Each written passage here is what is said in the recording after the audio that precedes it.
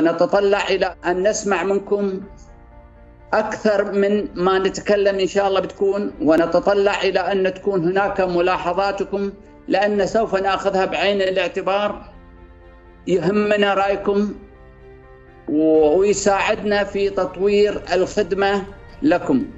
فأنتم شركائنا ليس كمقاولين لكن شركائنا في تطوير وتنفيذ البنية التحتية.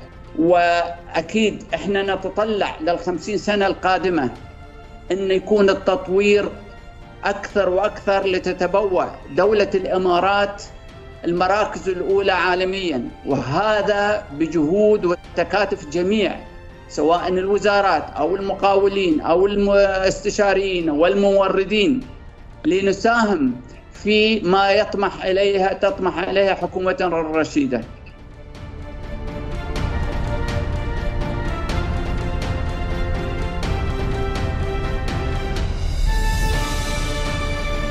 نشكر سعادة المهندس حسن المنصوري وكيل الوزاره لشؤون البنيه التحتية والنقل على هذه الكلمة ومثل ما تفضل سعادته أن اليوم التقانا نحن آه، لسماع ملاحظاتكم وسماع آه، مقترحاتكم لتطوير خدمات الرقميه أو خدمات البنيه التحتيه بشكل عام.